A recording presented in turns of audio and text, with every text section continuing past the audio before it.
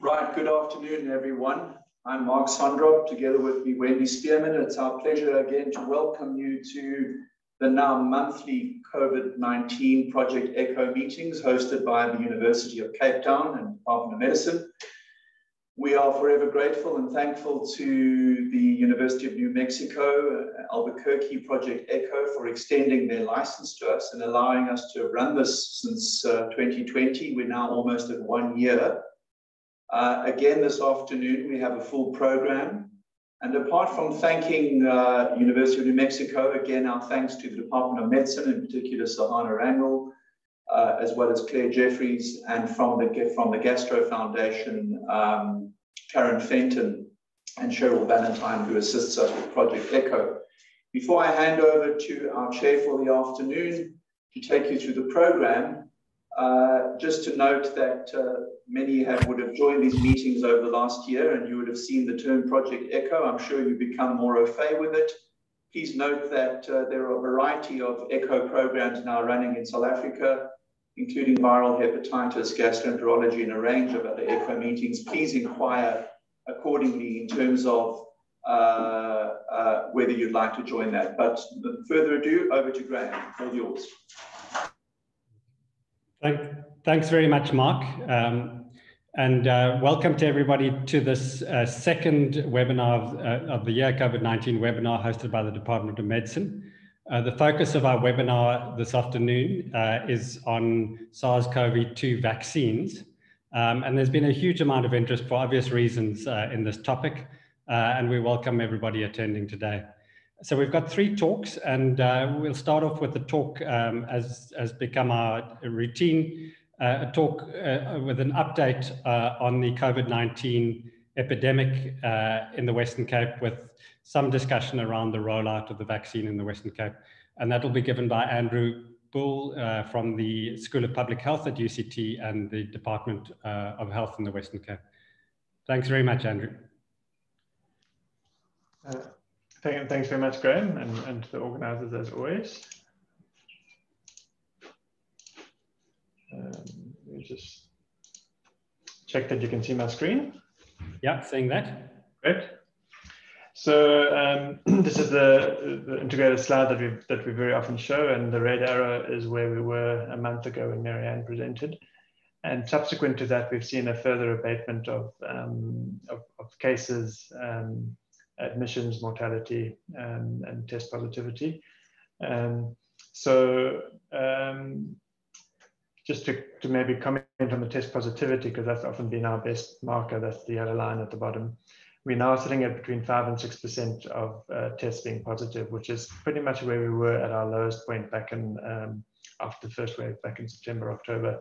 Um, but we are doing 20, about 20% more tests now at this point than we were at that at that point. So we still have slightly higher case numbers than we did at our um, at the lowest point after the after the first wave. And it's a bit curious that the admissions are only are still quite high relative to our peak admissions compared to how much everything else has come down. And I'll talk to that a little bit in a moment. This is the active cases by area, and it's just uh, we don't have to spend time on it just to kind of reflect that all the case the active cases in all areas have come down. Again, we're not quite at the lowest point we were previously, but there's no area that's standing out and, and suggesting that the, the cases are unusually high. Um, uh, com com compared to where, where we've been previously. Um, looking um, at the admissions, the um, public sector admissions, which is the kind of the, the, the solid line, lighter green, um, we're down to uh, just under 500 um, uh, admissions, current admissions and patients with confirmed COVID-19 within the last 21 days before admission. But um, that is, we're only reporting about 250 cases in the COVID services. So when the hospitals themselves say, this is how many patients we have on the COVID service, the number is lower. And that is because there's quite a lot of long patients in long-term care, psychiatric hospitals and other hospitals that, um, that count in these case numbers because they are accrued from simply uh, the, the lab data overlaid with the admission data. Um, and then there may be some cases in other parts of the hospital that aren't known to the, to the COVID service. And that phenomenon seems to be playing out even more in the private sector. All, all the private sector hasn't come down quite as much. So we're not as low, uh, admissions haven't come down as much as they did last time, and, and we will continue to show uh, an ongoing number of, of admissions that may not be due to acute COVID illness, um, whilst we are at this, this point of, of fewer cases as we did last time. To talk a little bit about mortality, you'll see the green line is the excess deaths, and you'll see that the the second the second wave has followed the excess or the excess deaths have followed the second wave very very closely this time around. Um, the solid red line is our best estimate of confirmed um, of confirmed deaths by date of death, taking into account that the the um, kind of uh, uh, peach-colored, um, which is the Department of Home Affairs deaths that we ascertain after the fact that we're mostly out of hospital. There's still a little bit of a at the peak. There's still a bit of a gap. Um, we've shown previously that some of it can be explained by the um, uh, uh, false negatives when you've got when we've got high pretest probability um, but we also anticipate that there's um, some diagnoses not made, and I'll talk to that in a talk to that in a moment. The MRC's latest report that came out yesterday, um, for the first time after the second wave, we are now have the, the total deaths for the Western Cape now fall within the prediction bound um, that, that, that, that, they provide. Um, so the so the excess deaths have come to, come down uh, quite quite dramatically for the first time, the MRC yesterday released a report where they tried to estimate uh, what proportion of the excess deaths are COVID related or COVID 19 deaths. And they do that by looking at the period of stable uh, ratio between the excess deaths and the, and the reported deaths. And they do this separately for each province and nationally. And then they upscale the reported deaths to, to one over that ratio throughout. And then, then during, and you'll see that the light at the, the, the, the smaller dots represent um, this method. During the peaks, this gap between the upscaled uh, deaths and the, and the excess deaths is greater, and they ascribe that as collateral deaths. So by that estimate, they estimate that nationally the collateral deaths are between uh, 5 and 15% of all excess deaths, and that number is smaller for the Western Cape um, when they do it by province rather than, than nationally. This is a slide that we showed uh, late last year after the first uh, wave uh, peak. And it looks at deaths um, last year in blue um, for diabetes and HIV. Um, and these are deaths that are measured in the hospital platform. So uh, it's quite similar when we use um, Home Affairs data on the ID number. Um, the orange are the deaths in, in, in 2020, 2021 and the grey, but excluding uh, those with uh, uh, COVID diagnoses, and the grey are deaths in 2021 with COVID diagnoses. And you can see that for diabetes, where we have quite a strong association between diabetes and, and COVID mortality of between two and fourfold. Um, we, the grey lines coming up showing a very clear um, uh, increase in deaths in patients with known diabetes during the two peaks in June, July, and then December, January.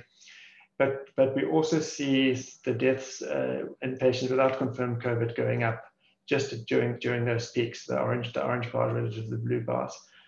And uh, you know that, that could represent um, collateral death in terms of care being affected, and it could also be um, undiagnosed COVID-19 given that relationship. But we don't see that same phenomenon with HIV um, mortality.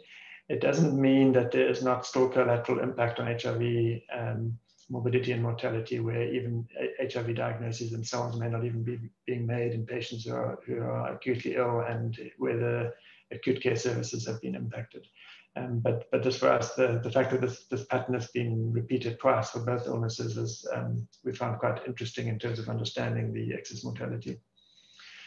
Um, I'm not going to present any detailed data. I think the, these data will emerge and the, the people producing them will be able to talk to them um, um, as, as they emerge. But just to summarize where we are and understanding uh, uh, things. So um, in terms of the transmissibility or of the, of the new variant, um, to, to explain the, um, the replacement of by the new variant, estimates use, the estimates that we're hearing are that one of the efficiency of transmission or the duration of transmission or the probability of reinfection has to be increased or a combination of them to, um, to explain that. And of those estimates uh, uh, will emerge similar to how they have in, in other countries.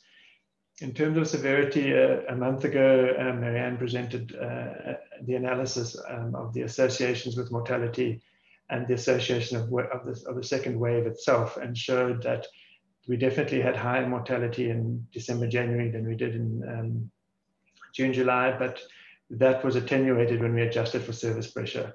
With uh, more data and, and refinement of the analysis, we're now showing that we don't fully attenuate that higher mortality in the second wave, and the NICD are showing the same. But that said, we still don't think it's interpretable as, as greater severity because the, um, there's a number of factors that, that could explain that, including residual confounding of service pressure that we don't measure as well as we would like to, and, and, and uh, potential selection bias um, uh, in terms of who gets ascertained. So there is a case control study that is uh, ongoing um, and will be um, pursued as the more sequencing data become available um, uh, over the period of um, crossover period where um, both variants were, were circulating.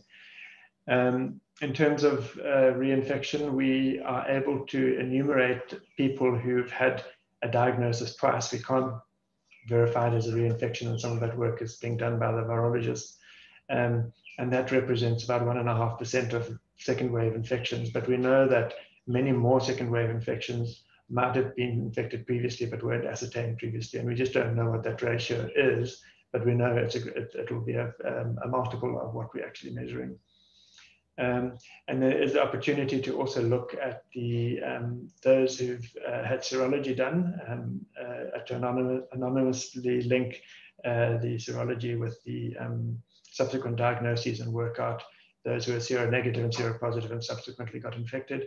And it does look like there is definitely protection from previously being infected, which um, is encouraging given that one of the vaccine trials didn't show that protection in the placebo arm. And we've also shown ecological data to show um, high assumed previous infection due to um, proxied by high standardized mortality, um, provided inverse, inversely correlated with second wave mortality. And then on the serology, the, there's work undergo, being done now on convenience samples um, post second wave. And uh, Marianne previously presented that the pediatric and the HbA1c residual samples proved to have a better distribution um, and alignment with, um, with uh, measured morbidity and mortality um, than the HIV and pregnancy residual samples. And those are being um, those are being repeated together with HIV for, for, for continuity, and we will get private sector residual samples this time. Um, we're not sure when the blood transfusion services will be able to report for, for the provinces that they haven't reported for yet because it was related to a regulatory issue on the platform that they were testing on. Um, we will get one opportunity to triangulate a household survey from Mitchell's Plain with our residual samples from a study that the NICD have done um, post second wave um, or towards the end of the second wave, which will be useful to us and the HSRC National Household Survey, which included um, Western Cape. They have not reported yet. Um, they do have data, but uh, uh, for the short term, it's not going to be definitive because there were issues around timing that crossed between the, the um, periods as well as the response rate. Um, just uh, to, to flip onto vaccines and the next talk. Um, so this is the national um, number of people uh, registered as health workers uh, to be vaccinated. And you'll see the Gauteng and the Western Cape being um, by far the having by far the greatest uh, uh numbers of health prof professionals and patient-facing health professionals. And the Western Cape, that's 113,000 registered. So, so clearly the, the availability doesn't meet the potential demand um, even amongst healthcare workers. And the data that we have so far in terms of um, uh, who's been vaccinated. There's uh, 14, uh, 14,500 uh, healthcare workers in the Western Cape who've been vaccinated. They're the kind of purple line on the bottom right graph. So you can see a fairly um, uh, stable uh, rollout over, over time.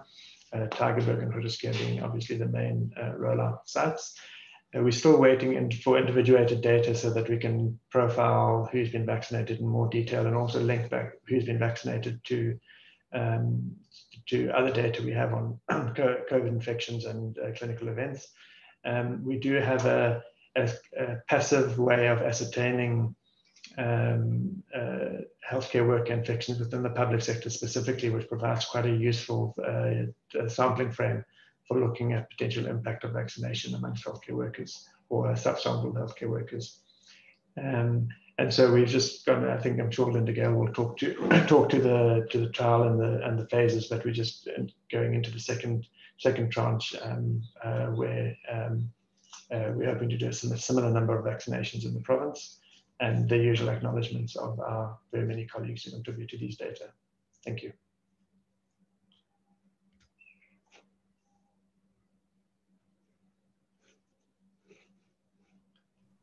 Thanks very much, Andrew, uh, for that update. Uh, as usual, really great to get that real-time reporting about the Western Cape. Um, so we're going to move on to our, our second talk uh, today, which is going to be given by Professor Linda-Gail Bekker. Uh, Linda-Gail is a professor of medicine at UCT, director of the Desmond Tutu HIV Center at UCT, as well as chief research officer of the Desmond Tutu Health Foundation. Uh, Linda-Gail is a, a physician scientist who, who's internationally known for her programmatic and action research around ART rollout, TB integration and prevention of HIV in women, uh, youth, and MSM. And over the last year, uh, Linda-Gail and, and, her research teams have, have focused uh, their work, uh, in addition to the work on HIV and TB, on uh, COVID. Um, and uh, have, have, Linda-Gail's had a prominent role in both the ensemble trial as co-PI in South Africa and now co-PI of the Sisonke trial. And it's incredible to think that this trial is just two weeks old. Um, it was put together at, at a rapid pace and has really provided a mechanism for healthcare workers in South Africa uh, to access uh, the J&J vaccine and, and really looking forward uh, to an update from, from Linda-Gail about this. So thanks very much. Thank you, uh, Graham, and uh, the Echo Clinic. And apologies, I didn't change the title of this slide. One's doing everything um, at speed just at the moment, um, and I actually had to give feedback to the provinces this morning. So apologies for um, for not changing that. I thought I would start with really which vaccine are we talking about here? And I know this may be, uh, but just to get us all onto the same page, uh, we are talking about the Johnson & Johnson vaccine. Um, and it is an Ad26 based vaccine. Of course, uh, the platform is well known for other pathogens as well. Um, Johnson & Johnson has used it for RSV. We have an HIV trial actually in the field at the moment uh, known as Imbokodo, uh, but it has also been used for Ebola, malaria, uh, as you see, Zika, um, and other uh, aspects. So well known, well tolerated, um, mostly mild to moderate AEs, uh, really no significant safety. So we start with a good a good candidate in that regard. How like all the other vaccines that, or most of the other vaccines in the field at the moment, uh, the uh, the candidate was decided uh, based on the pref- preferred and presumed best antigen being the spike protein, um, and obviously wanting something that would express antigen, would be scalable, would be immunogenic. Uh, stable um, and easy to roll out. So that really is what drove uh, the the J&J uh, product. Um, early data, very promising, as you see here in, in non-human primates, um, looking at uh, the antibodies elicited um, and uh, again, really laying the groundwork to go forward. And those those studies are all now published. Um, looking again in the new non-human primate at lower and upper respiratory tract um, SARS-CoV-2 viral load um, before and after vaccination or in controls and, and vaccinated uh, rhesus macaques. Um, and again, very promising data out of the NHPs. So um, we have a vaccine that is monovalent. It's composed of a recombinant replication incompetent adenotype 26 vector. Uh, it encodes the spike protein and is administered as a single dose, as you see, I am into the deltoid muscle. Um, what are the phases we've seen so far? Well, we had um, interim phase one, two, um, that consisted of a number of different cohorts. Um, spanning all the way from 18 to more than 65 years. And the there is a longer term cohort with a two dose schedule that is also under investigation. What is the interim data out of those early studies? Well, again, the vaccine certainly does look immunogenic. Um, and uh, there are also impressive T cell responses, so both CD4 T cell and CD4-8. Um, and really, again, uh, I think reassuring that no safety concerns, uh, some reactogenicity.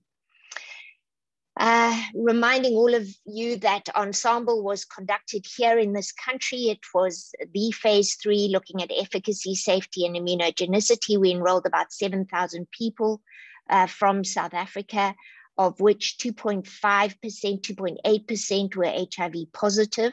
Uh, worldwide, the other the other regions were North America and South America, um, and the endpoint was to look at moderate to severe critical COVID after 14 days, and then moderate to severe critical COVID after 28 days. And these are the top level results. Uh, sorry, the paper is not yet published. Um, so I'm I'm presenting what many of us have seen really coming out of the the FDA report mostly, and there we saw a 66% overall efficacy for preventing moderate to severe 28 days, 72% effective in the North America, 86% overall in preventing severe disease after 28 disease, and complete protection against COVID. Importantly for South Africa, the update uh, at the FDA was that we see 64% protection in South Africa, where again we captured mostly our second wave and mostly the B135 uh, one li lineage. So here is a Kaplan-Meier just to bring that home. Uh, and we seem to be seeing this data going out uh, further now, again, with good immune responses beyond 100 days um, and, uh, and safety looking good. So here is the safety. Um, solicited local and uh, adverse reactions were higher in the vaccine group than the placebo, mostly due to injection pain, site, uh, site pain, um, more so in young people than older.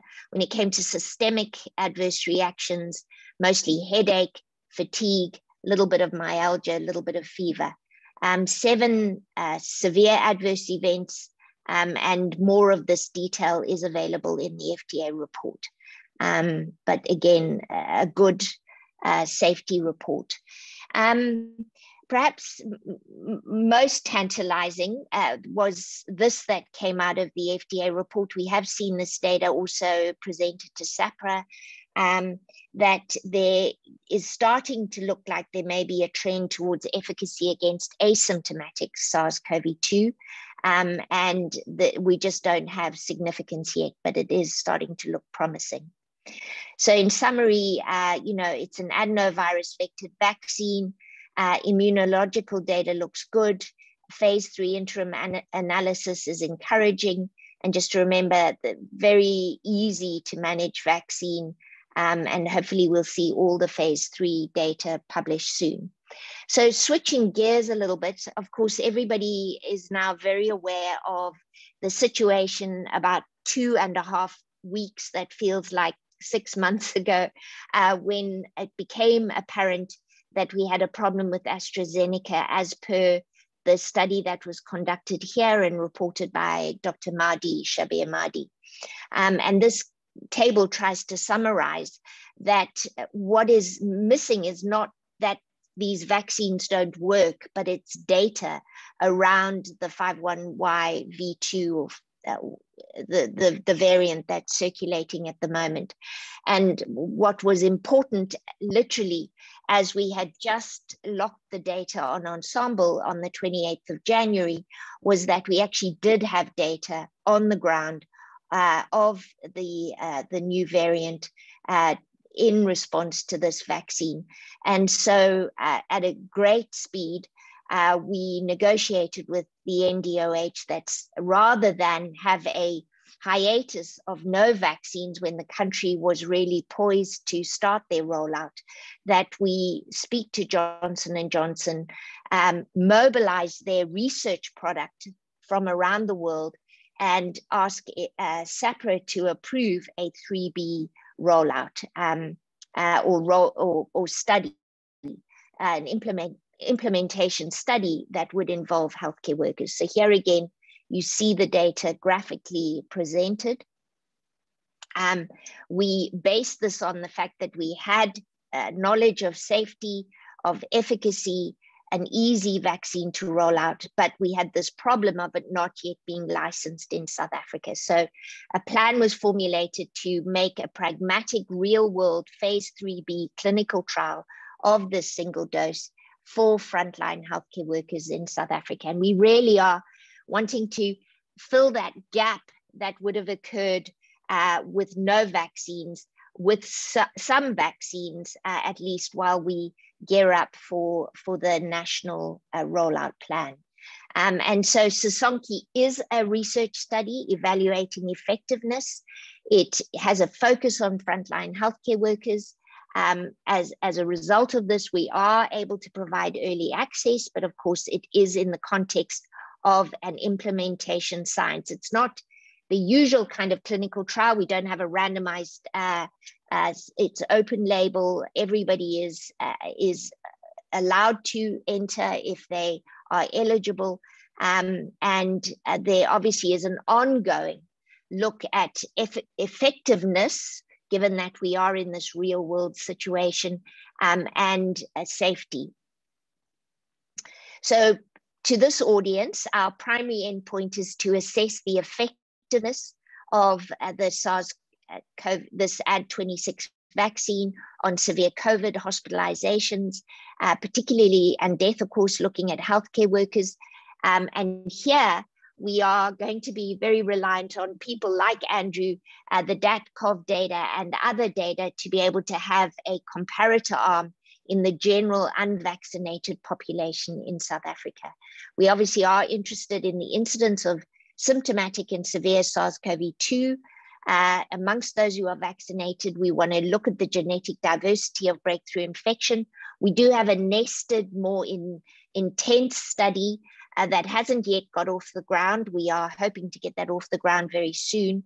Uh, and we also want to um, look more carefully about asymptomatic infection in that group.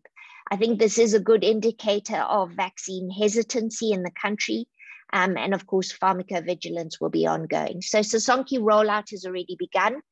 We, I want to make the point that we are nesting this implementation science study within the national vaccine rollout plan.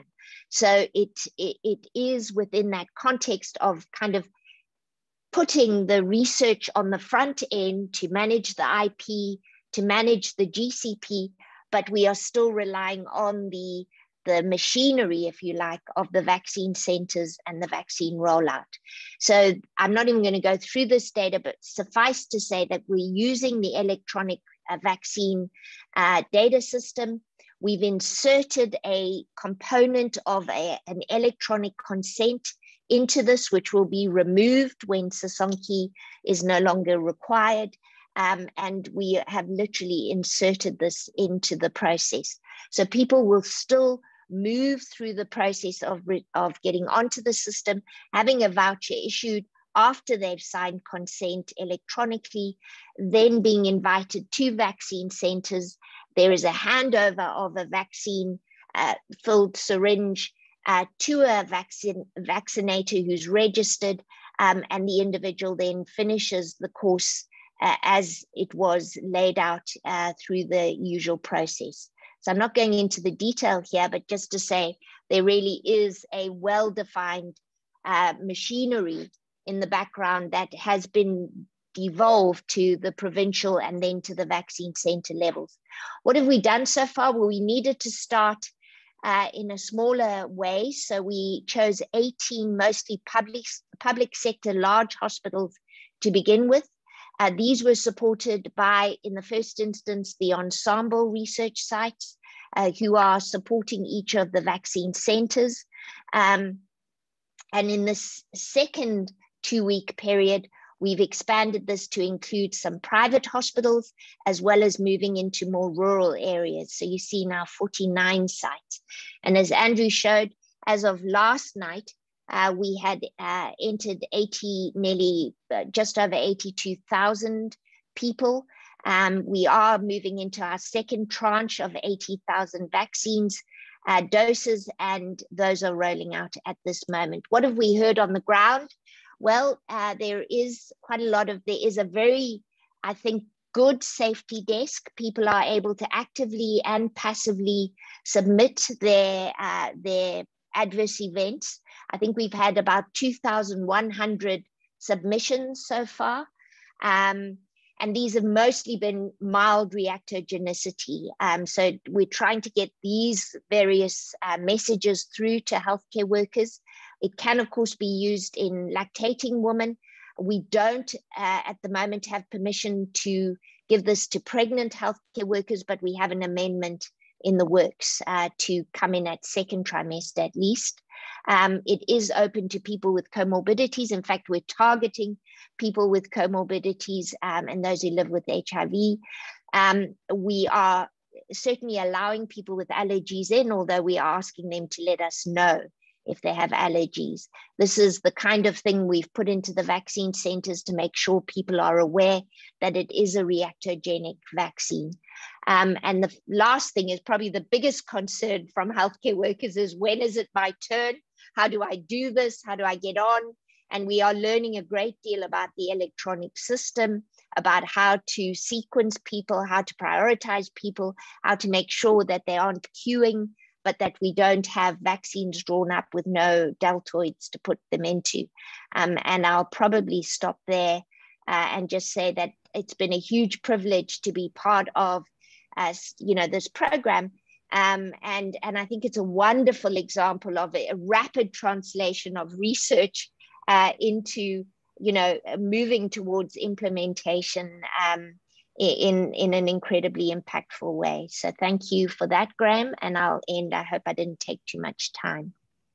Great, thanks so much, Linda Gale, for that really excellent overview, and and um, also just uh, thank you and congratulations to the leadership of of the Sisonke trial for for what is just a remarkable accomplishment. You know, it's been four weeks since this was conceived two weeks to get it all ready, and within two weeks, over 80,000 people uh, vaccinated, which is just just a huge accomplishment. So, so thank you for that. Um, Linda Gale, I believe you need to go to another webinar, but you, can you take a few questions? Absolutely. In fact, but, it's a MRC function that I have to shoot off to, so apologies okay. to everyone. Okay. So, so um, just um, if, if I can ask you, um, you know, one of the issues that has come up is is um, obviously the ensemble sites were all within urban, well, ma majority within urban areas, and getting the vaccine out to our colleagues in the rural areas is, is, is going to be a challenge. I mean, you, it's been a remarkable achievement what's been achieved in the urban areas, but thinking about rural access, uh, what, what are your thoughts on that? Yeah, so quite correct, Graham. This is our, our, our big nightmares. What, on the one hand to make sure that private sector is incorporated within this, but also um, and all cadres uh, across the board, um, but then also um, to get into those rural and primary healthcare areas. So uh, innovation is happening there. In fact, we don't have an ensemble site in the Northern Cape, for instance. So we have imported a site into the Northern Cape. So thank you to the Joburg Ian Zanna Right to Care group who've gone um, in as an ensemble site to uh, to uh, the Northern Cape. We our job as researchers and our GCP is to make sure that the IP, the vaccine, is drawn to the right level in the right way into those syringes. So uh, that is the critical part, if you like, of the, and then the oversight to make sure that everything is running smoothly and everything and safety is being paid attention to. So we are able to distribute our researchers um, as long as they take their pharmacies or designated GCP individuals with them. And obviously, also again, because this vaccine has a little more flexibility around mobility, um, we are also starting to get mobile uh, units up and going, which again have a researcher on the one end making sure that IP is well taken care of, uh, but getting vaccine out in that way. So at the moment, we're in part in this relevance here, we're in George. um, in Paarl and in um, Worcester. Uh, but I think we'll be trying to penetrate from each of those via mobile clinics. Um, and again, innovation on the research side. So, you know, paying tribute to Andreas Diaken, uh, to the group's FAM crew, to the various your group, uh, others who've been prepared to say, you know, I'm, I'm willing to go um, and make this happen. So awesome. And then Linda just um, in terms of moving towards licensing by SAHPRA, uh, can you, uh, do you have any idea of what the potential timelines in that regard are? Yeah, so um, everyone will know that over the weekend an EUA was granted by the Federal Drug Administration. That's really important because that's the primary regulator that um, that J and J. Obviously, this vaccine has been largely also funded as part of Warp Speed. Um, they are also submitting to the European agency as we speak, and we've had a rolling uh, approval process going at SAPRA. So we have already shown them the data out of Ensemble. Um, now the dossier has been submitted. Um, I think we're kind of imagining uh, a mid-April readout. Um, and, um, you know, not wanting to this is speculation on on our part at Sisonke. Um, and obviously, there are also options maybe for a Section 21, the way government has, uh, the way SAHPRA has issued for Pfizer. So, mm. so that could be a kind of a quicker way to bring mm. things in before an EUA. Uh, but I, I, think we're thinking Sisonke is the stopgap at least until mid-April. Okay. I've, I've got one other question, but I see there is a question posted in the chat. Um, are people being screened for previous COVID infection or positive serology prior to vaccination? And are previously infected individuals being included? Yeah, so yes, uh, previously infected people are included. We are recommending that you give yourself 28 days after your last uh, symptom, just because reactogenicity does seem to be a little more vehement in people who have recently had COVID. Um, and so just think about that a bit carefully. Um, the, the immunity is an interest, a really interesting question. So we are hoping to do that in our 10,000 person um, sub study, which hopefully will get off the, we, we make just confirming funding for that. Um, but hopefully that will allow us to do three uh, different time points for uh, existing um, uh, immunity to SARS-CoV-2. And I know people have raised background immunity to add 26. I just want to point people to a paper we wrote some time ago when we were doing the Pambili Add 5 study. We, uh, we did a seroprevalence look for Add 26 vis-a-vis Add 5, and definitely there's far less background seroprevalence to Add 26 than Add 5. Hmm. Um, and I see there is another question there. Can high risk staff, uh, in other words, people with comorbidities, return to their clinical role once they are vaccinated? If so, million dollar question. I, I, you know, interesting. I'd love to hear what you guys think. I was just saying to Robin, and I actually posed it to UCT to ask them what their policy is about this.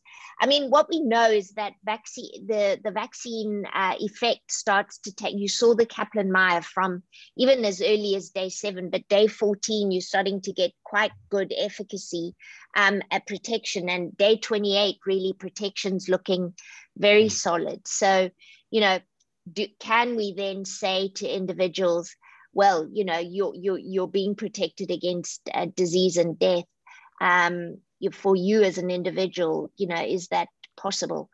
I, I, I, I, I'm not sure what the policy is anywhere, whether anybody's thought about it or indeed what the policy is turning out to be in North America. I'd, I'd welcome other thoughts.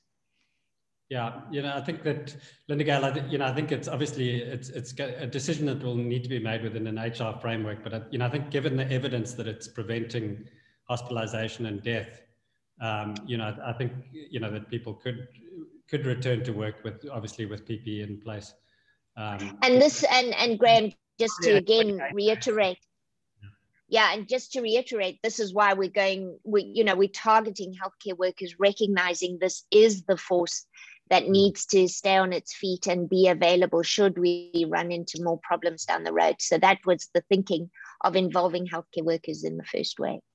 And, and, and given that you, are getting uh, pr more protection at uh, after 28 days than you are getting at 14 days, it makes sense to say that the person's high risk, they wait till 28 days and then and then return. But obviously that needs a framework for that decision to happen. Um, and then I, I, I, just want to pose one last question um, related to the, the, the, the primary question in Sisonke, and, and perhaps Andrew can also contribute to this, but um, the, uh, the question of, of vaccine efficacy, comparing it to the general population, it's, it's quite obvious that the, their risk profile is quite different.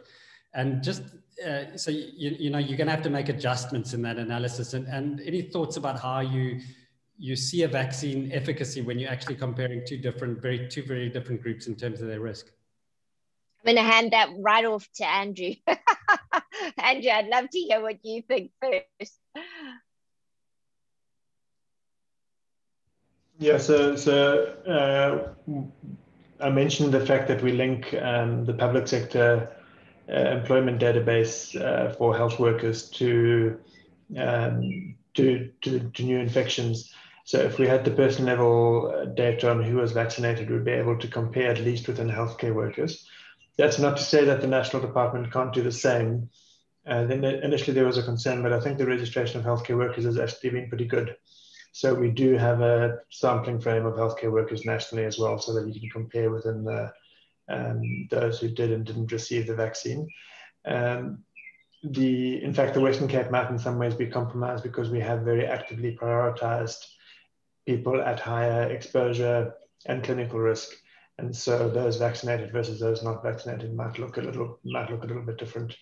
Um, and we don't necessarily have digitized data on that ex- that exposure. Mm-hmm. Um, yeah, but uh, but I think definitely uh, comparing to health worker to health worker rather than health worker to general population is is the way to go, and I, I hope that nationally that that'll also happen now that we do have that sampling frame. Thank, thanks, Andrew. Thanks very much once again, Linda Gelder. Really excellent to have that overview. Um, Thank you. We're going to move on to our uh, third talk uh, uh, today, and that's going to be given by Professor Penny Moore. Uh, Penny is the SARCHI chair of virus host dynamics at WITS uh, and at the NICD, and is also a senior honorary scientist at CAPRISA at UKZN. Um, and Penny is, is well known for her work on HIV, uh, broadly neutralizing antibodies to, uh, to uh, HIV and the interplay with, with virus evolution in, in the field of HIV. Um, but over the last year, her group has uh, similarly switched their focus uh, to, to SARS-CoV-2, um, and particularly looking at uh, immune escape, um, most recently of the VO1, 501Y V2 variant. Um, and uh, as, the, the, group actually had a publication uh, last week uh, in Nature Medicine on this topic. So it's, it's really great to have Penny to share her, her thoughts around immune escape with the variant um, and the implications of that uh, for, for vaccines that are being scaled up. So thanks very much uh, for, for giving the talk today, Penny. Thanks, Ben. Um, so I'm uh, going to whip through some of the data that was in that paper that you mentioned um, and then go on to some newer data. Um, so I thought I'd um, start by reminding you of what I'm sure you're all very familiar with. It's just the location of the mutations um, that make 501YB2 concerning from an immune evasion perspective. And these, they're really two clusters of mutations. So these, uh, these three here, which I'm sure you're very familiar with in the receptor binding domain, but also a really considerable number of mutations in the N-terminal domain. And both of these, if you look at um, studies of natural infection, are, are really the hotspots um, in terms of um, immunological activity, certainly neutralizing antibodies. And that's what um, I think freaked everybody out with good reason, as it turns out. So I'm going to show you some of our, some of our data. Um, all of the data I'm going to show you in this um, presentation is really generated using the pseudovirus neutralization assay. And this is an assay that we um, have been running for years and years and years for HIV. Um, and when we and everybody else got distracted by SARS-CoV-2, we uh, kind of rejigged it. Um, so what it is essentially is um, a system where you can plug in any SARS-CoV-2 spike, which makes it incredibly powerful. We're at the moment focusing um, our efforts on the wild type D614G, uh, 501YB2, um, and you can see we've incorporated all of those mutations that define the lineage, including the three in the um, RBD. And we have this triple triple mutant that just has the mutations in the um, RBD, which makes it possible to tease apart um, different responses. And I, we use a, a, a 293T uh, cells that overexpress ACE2 as a target cell line. Um, and um, this is very much the central assay that many people are using across the world for measuring these kinds of needs. So the first thing we want we did when we started looking at immune evasion is to use monoclonal antibodies as a model for this because um, they're incredibly clean. Um, not because we had any great hopes that monoclonal antibodies were coming anytime soon to South Africa, but there are these really powerful monoclonals that have been isolated from people with um, COVID-19. And they happen to target largely um, the sites that are mutated in 501YB2.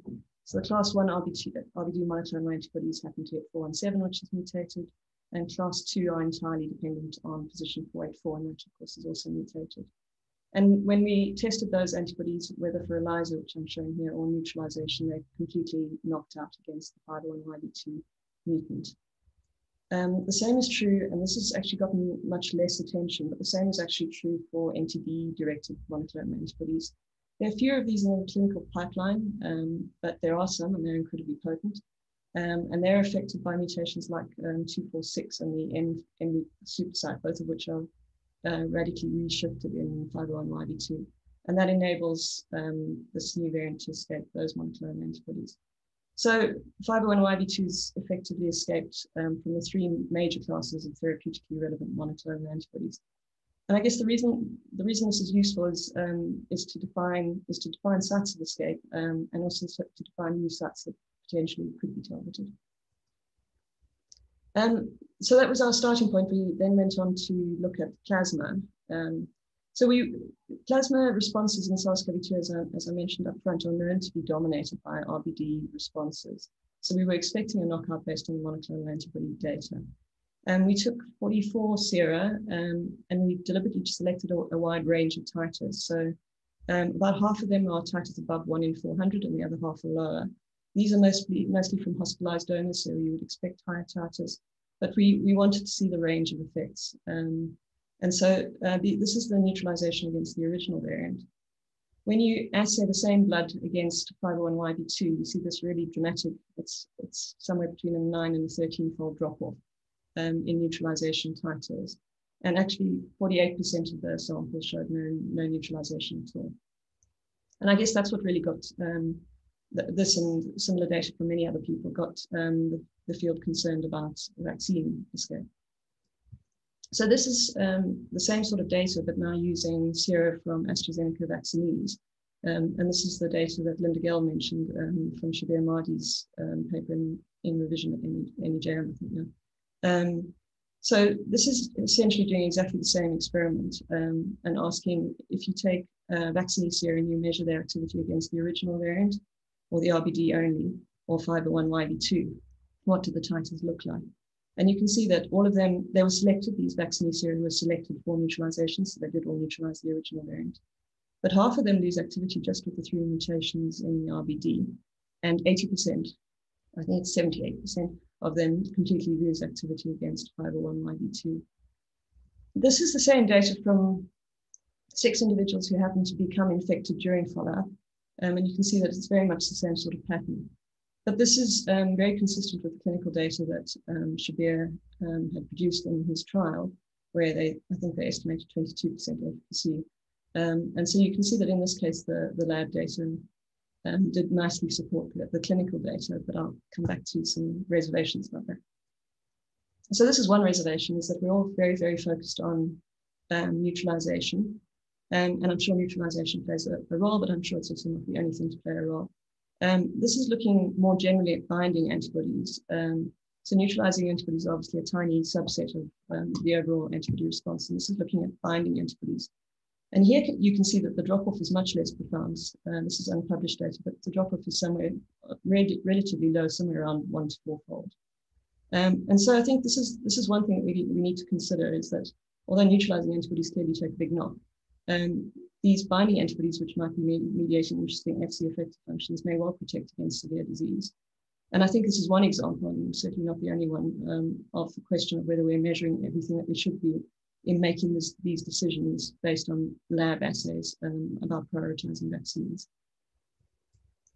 So um, this is um, my first set of conclusions, which is uh, 501YB2 shows substantial complete escape from uh, monoclonal antibodies and neutralizing antibodies, but not binding antibodies. And that's true both in convalescent plasma and in several vaccine serum um, that have been published now, um, now including AstraZeneca. So now I want to change tech and show you some unpublished data um, and try to link it again back to, I realize I'm supposed to be talking about vaccines. So I'm trying to, I'll try to link this data back to, uh, to vaccines. But one of the questions, what, what the vaccine manufacturers are doing in many cases um, in response to the emergence of 501YB2 is uh, those who can easily tweak their platforms, such as Pfizer and Moderna, are rapidly doing that. And we've seen that in the news to incorporate uh, 501YB2 into their vaccine platforms. But the question, um, questions that are outstanding, I think, are whether titers to 501YB2 are comparable to the original variant, um, and whether there's any cross-reactivity in binding and neutralization, and that's what we set out to answer here. And this was uh, very much a collaborative study. So um, we, we did this work in a cohort of 100 hospitalized folks um, from Groote Hospital in a cohort that was set up by Ntobeko and Wendy at UCT. Um, in our lab, Thandeka and Mashudu did um, virtually all of the, the work at warp speed. Um, the comparison that I'll show you was made with a, a hospitalized cohort before the variant emerged um, that had been recruited by Michael Boswell and Teresa Rousseau. And um, what was really a critical aspect of this was some sequencing data, and that was generated by Carolyn and Tulio D'Oliveira. Um, so it was a, a, a, warp speed collaboration that has been fun. Um, so the first set of data that I want to show you is that 501YB2 does, unsurprisingly, but does effectively elicit neutralizing uh, antibodies. So to walk you through this slowly, um, the, the Groote Hospital cohort, which is the co cohort of individuals that we presume are infected largely with 501YB2, um, because that was largely the, the variant circulating when these people were recruited. This is their neutralization data here. And the higher it goes up here, the better the neutralization. And next to it are two time points, admission and a follow-up time point seven days later for the cohort recruited in, in, in Pretoria. Um, and you can see that um, there's no difference at all between um, Hospital titers and the titers in Steve Biko cohort at admission. There is a substantial difference when you look at the later time point. So I think what's clear from this data is that 501 certainly elicits a very potent neutralizing antibody response. But determining whether it's as good or less good as um, the original variant in hospitalized cohorts is very difficult because of the dynamic nature. So there, there are five days between these two um, time points, and you can see how rapidly these neutralizing antibodies mature. So all I would say from this data is um, it's, it elicits good neutralizing antibodies, which is good. The other thing uh, that 501YB2 does is it um, elicits cross-reactive binding antibodies again. So this is comparing on the vertical axis either RBD or the full, um, the full spike um, of uh, 501YB2 compared to the original the variant down at the bottom. And you can see there's a really strong correlation. So um, the binding antibodies that are elicited by 501YB2 do a very good job of uh, binding to the original variant too. What about neutralizing antibodies? I'm checking for time. Um, this is the data I showed you um, a couple of slides back. Um, this is the um, individuals infected with the original cohort. And this is what happens in individuals who are infected with 501YB2. So here we've done the experiment the other way around. So we've taken individuals who were infected with 501YB2, again, a range of titers, and we've tested them against the original variant um, to see how well that neutralization happens. And you can see straight away that compared to the um, original data, the, the red line is a lot less steep in the individuals who are infected with 501YB2.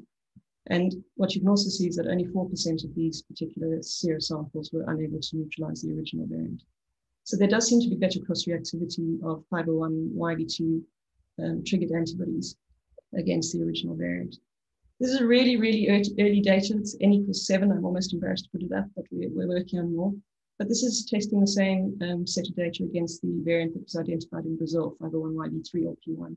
And you can see in N equals seven, um, but you can see there's really good neutralization of that variant too um, which I think um, is perhaps not surprising because it shares many sequence features with 501YB2, but nonetheless so um, that's where I'll stop. We see high levels of neutralizing antibodies against 501YB2 um, and high levels of cross-reactive binding antibodies, which both of which we expected. But I think what was less expected was that the sera from wave two, what we presume are 501YB2 um, people, do maintain some level of neutralizing activity better than we would have expected against the 614G variant and the Brazilian variant. And I think that does have some cool implications for vaccine design, particularly as the vaccine developers are moving towards putting the 501YB2 spike into um, their vaccine platforms. How it happens, I don't yet know, and that's something that we'll have to work out. And I think it raises probably more questions than it answers as well. Um, but that's where we are for now. I've tried to thank many people as I go along, but this is our team here at the NICD.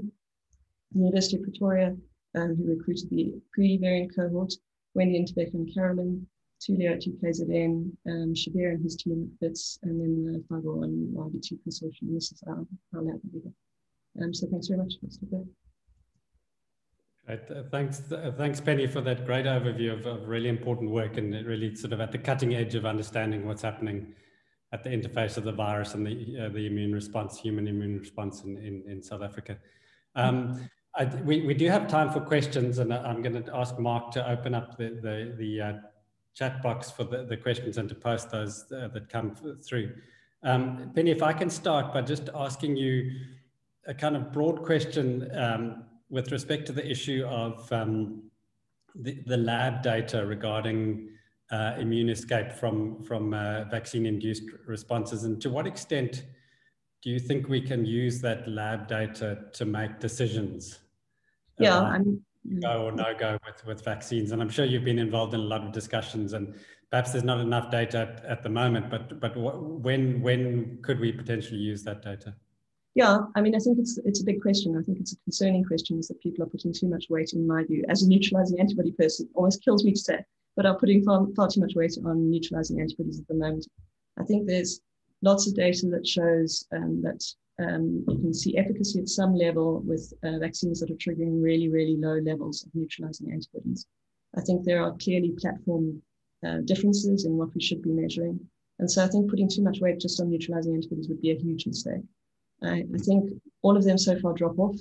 Um, the effect of the drop off seems to be largely determined by where they start. So Pfizer and Moderna start very high, Chaddock started low. Um, Astra's, uh, yeah, um, Adeno 26 has even lower titers. Um, and yet we're seeing a disconnect between the titers and the levels of protection. Um, so I, I think it would be a huge, huge mistake to be pulling vaccines on the basis only of neutralizing antibody correlates. I think we need to know lots more about the T cells. They're clearly vital. And we need to let, let, know lots more about FC effector function. There's plenty of data coming out that shows that um, those cross-reactive antibodies may be mediating FC effector functions, and those have been shown to protect in NHPs from both infection and disease. So, so I, I would definitely not rely too much on my data. so, so I mean, in, in summary, I mean, we might move towards that where you could use lab correlates, but it would need to be a far more composite thing involving neutralizing exactly. antibodies, binding antibodies, T cell responses. And, it's a much more nuanced thing than we thought. I think that's what we need to appreciate. But it's much more nuanced, and we need to have much more data to be able to work out how these things are interrelated. Yeah, yeah. I see there is um, one question posted. Um, might the cross-reactivity data be used to justify continued restrictions uh, on travel to and from South Africa? Um, it should do the opposite in a sense. Um, so people in our country are now being infected largely with 501YB2 and should therefore be protected against multiple different strains. Um, so wherever they go, they should theoretically be protected. I guess you, you're talking about people coming in here. I'm not sure it'll make any much difference to travel restrictions. Or, or, or somebody taking the uh, the 501v2 variant and, uh, to another country. Um, That's that that that ship has sailed. Um, I think I think we we um, Tulio's data and I think um, a recent slide that he presented two days ago was that it's now in 50 countries. So yeah. um, I think that should be sailed. Yeah. Um, and then, um, Mark, do you want to do you want to ask uh, Wendy the, the next question? So some antibody-related results. One of the questions is, how do the serological results correlate with T cell results?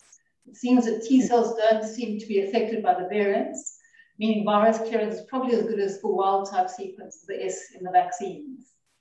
So, so I, I don't think, um, I, am not a T cell person, but the, the data on the T cells against the variant is not strong yet from what I've seen. There two, two publications. Um, one is from the, um, the AstraZeneca group, which shows that um, t- that the dominant T cell responses generally target regions that are not affected by mutations. And I think um, there was a, a, very recent paper from the SETI group that also showed that there's um, some level of maintenance of T cell responses. But I, I, I, basically don't think that we know enough about T cell responses in vaccination um, and certainly not about how they link to antibody responses. Lots more we don't know. That's it.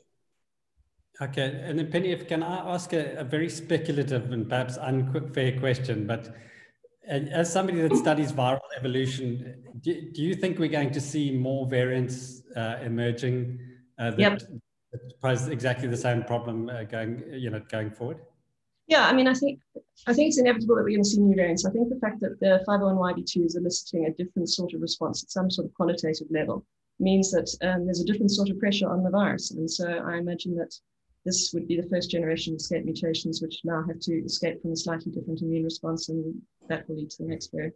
But I mean, regardless, there's a huge force of infection across the world, and this is what viruses do. Um, I have, there are enough viruses, uh, enough virologists on this call uh, for me not to have to answer that question in more detail. Okay.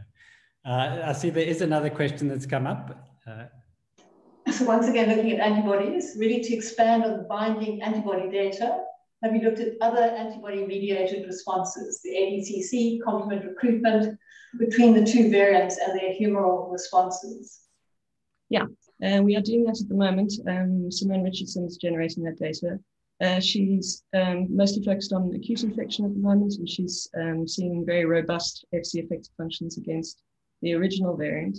She's now doing exactly she's doing exactly the parallel study to what we did with the uh, neutralizing antibodies, and she's looking at how cross-reactive those um, FC effector functions are at the moment. So that works in, in progress. But certainly there's a very robust FC effector function during SARS-CoV-2 infection. Maybe one last question. Um, there's a concern that the new there might be a new variant causing wave three. Is there any early signal of the emergence of significant new variants in South Africa? Um, there are, I mean, there are multiple um, multiple new mutations arising. Um, I think there is evidence of new uh, lineages um, that people are picking up at different places, but whether or not those will take off again, I think it's difficult at this stage to look at a, a, sequence and predict whether it will take off and become a virus that then causes the third wave. So I think we need to, it's difficult to predict from the sequences. Okay, um, yeah, so we, we reached the hour. Just to say thank you very much again to uh, Penny um, and to uh, Andrew and Linda-Gail. The excellent webinar, I think, covering a, a range of issues, uh, up to date and topical. And uh, th thanks for the, the great talks. Uh, we will be having our next uh, COVID Echo webinar um, in the in the second week of, of April. So I think it's in five weeks from today. Um, and we'll be putting out the advert one or two weeks in advance of that. Uh, so hopefully you can all join us then. Uh, and back to you, Mark and Wendy. Thanks very much. Thank you, everybody. We'll see you second week of April. Uh, be safe and uh, hopefully access your vaccine soon. Be well.